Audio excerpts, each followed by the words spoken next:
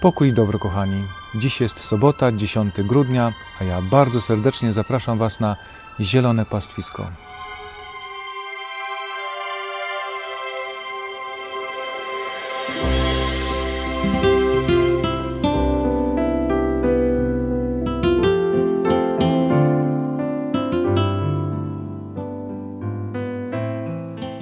Kochani, według tradycji starotestamentalnej spisanej w księdze proroka Malechiasza, zanim miał przyjść Mesjasz, jego przyjście miał poprzedzić Eliasz, który miał przygotować drogę Panu.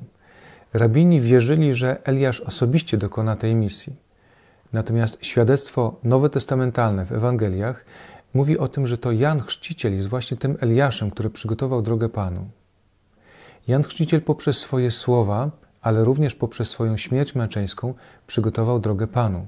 Skoro poprzednik Mesjasza przyjął śmierć męczeńską, łatwiej było przyjąć, że i Mesjasz przyjął śmierć męczeńską za cały naród i za cały świat.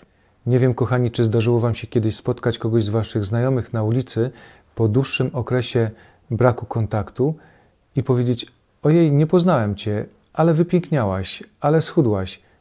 Gorzej, jeżeli ktoś powie: Ale przytyłaś, to już nie byłoby takie miłe. Niemniej jednak myślę, że nikt do nas nie będzie miał żalu, jeśli po dłuższym okresie niewidzenia się kogoś nie rozpoznamy. Natomiast niedobrze jest, jeśli byśmy na przykład nie rozpoznali znaku drogowego. Mogłoby dojść do jakiejś kraksy.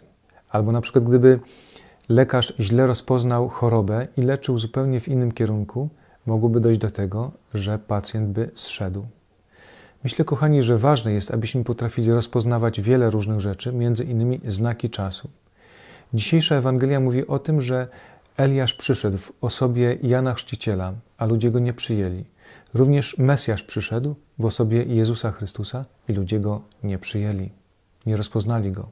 Przywołam, kochani, takie opowiadanie o pewnym proboszczu, który przygotowywał kazanie o opatrzności Bożej. I akurat w tym czasie tamte tereny nawiedziła powódź. Kiedy woda sięgała do progu plebanii, przypłynął parafianin i powiedział: Proboszczu, wskakuj do łodzi, popłyniemy do miejsca, gdzie będziesz bezpieczny. Wówczas proboszcz miał odpowiedzieć: Odpłyń spokojnie, Pan Bóg mnie uratuje, Pan Bóg przyjdzie, ja ufam opatrzności Bożej. Później, kiedy połowę budynku już było pod wodą, znów przypłynął parafianin i mówi: Proboszczu, wskakuj, ratuj się, ja chcę cię uratować. Spokojnie, odpłyń, Pan Bóg przyjdzie i Pan Bóg mnie uratuje. Później, kiedy woda sięgała aż po dach plebanii, znów przypłynęła łódź i wtedy znów odmówił, powiedział, że Pan Bóg na pewno przyjdzie i Pan Bóg go uratuje, musi do ostatniej chwili ufać. I później, kiedy utonął, kiedy znalazł się w niebie, z takim wyrzutem zwrócił się do Pana Boga: Panie Boże, przecież tak bardzo Ci ufałem. Dlaczego utonąłem? Dlaczego nic nie zrobiłeś? I wtedy Pan Bóg miał odpowiedzieć: A myślisz, że kto ci przysłał te trzy łódki? To ja działałem w taki sposób, żeby cię uratować. Jak widzimy, kochani, ten proboszcz miał swoje rozumienie, swoją wizję opatrzności Bożej. My też czasem nie rozpoznajemy woli Pana Boga. Mamy swoją wizję i wydaje nam się, że to, w jaki sposób sobie pomyśleliśmy, to tak powinno być. Natomiast ważne jest, żebyśmy zawsze odrzucili nasze wizje, szukali tego, co jest wizją Pana Boga, jak On chce te wszystkie sprawy poprowadzić. A jak jest w Twoim życiu? Czy Twój Eliasz już przyszedł? Czy rozpoznałeś zwiastuna dobrej nowiny, czy może go zignorowałeś?